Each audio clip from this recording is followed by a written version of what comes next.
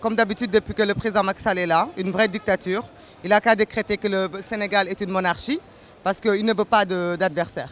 Euh, ses adversaires, quand il ne les met pas en prison, quand il ne les exile pas, eh ben, il les bombarde de lacrymogènes ou il les arrête, euh, même quand ils veulent tout simplement accéder au ministère de la Justice pour avoir euh, accès au fichier électoral parce que ce sont des candidats à la candidature. Vous voyez ce qui est en train de se passer. le président Macky Sall n'a pas le droit de choisir ses adversaires. Il n'a pas le droit de, mettre le parrainage, de ne même pas donner l'accès au fichier électoral. Au jour d'aujourd'hui, les candidats ont le droit d'avoir le fichier électoral entre leurs mains. Parce qu'au jour d'aujourd'hui, cette histoire de, de, parrainage qu'il est en train de faire, c'est tout simplement pour pouvoir euh, voler le vote des Sénégalais. Il est en train de violer le secret de vote.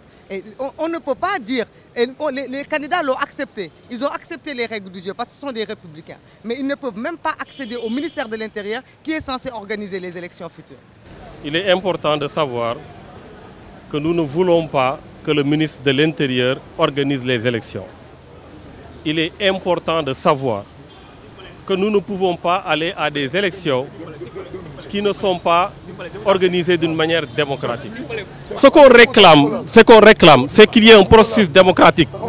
Ce qu'on réclame, c'est qu'il y ait des élections transparentes. Juste, vous comprenez? On ne peut pas comprendre de telles choses actuellement dans une société démocratique comme le Sénégal. C'est une dictature et nous luttons contre la dictature.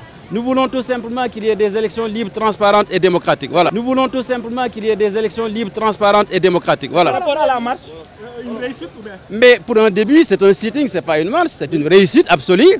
Et on va continuer à mettre la pression sur Macky Sall et sur le pouvoir.